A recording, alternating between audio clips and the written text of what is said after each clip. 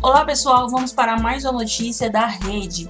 Tiago Abravanel publica foto bastante rara ao lado de sua mãe.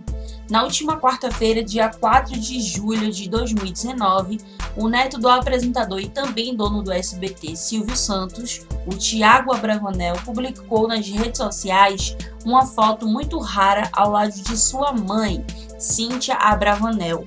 Cíntia e Tiago foram clicados aproveitando um dia de sol em Fernando de Noronha. E os seguidores de Tiago curtiram bastante a foto. Olha aí quanta chiqueza, hein, pessoal? Na legenda, o neto de Silvio Santos escreveu o seguinte: Sonhando e realizando sonhos. Te amo, mamãe. Já conhecia a mãe do Thiago Abravanel?